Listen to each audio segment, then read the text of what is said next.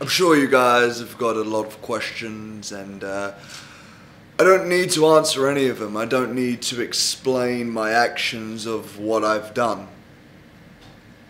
In fact, all I will do is tell you what I did do.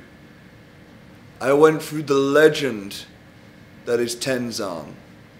I broke my nose against Zack Sabre Jr. and still won. I carried on and then defeated Sanada. I put an end to a Cinderella story with David Finlay. And then in a 30 minute grueling battle, I slayed the dragon Shingo Takagi again to finally win the New Japan Cup. But it doesn't mean I'm the best wrestler in the world, does it? No, no, it doesn't mean anything.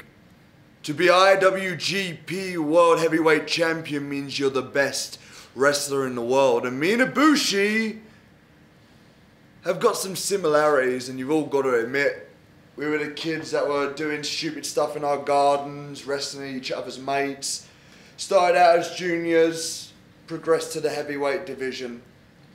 And the common thing between me and Kota Ibushi was it's, it's a saying, and it's heir to the throne. Where the guy is destined to carry the company. And Ibushi was given chance after chance after chance after chance, and he's only managed to get that throne now. I don't know how long it took him, but it's taken him a long time. This is my first shot.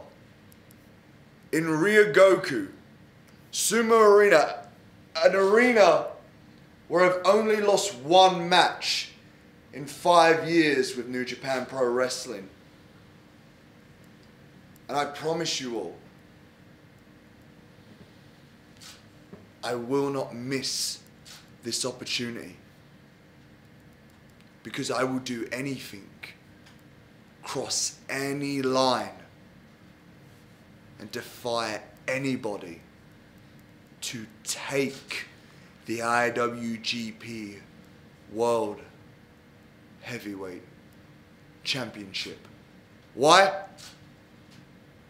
Because I'm Will Ospreay and I am on another level.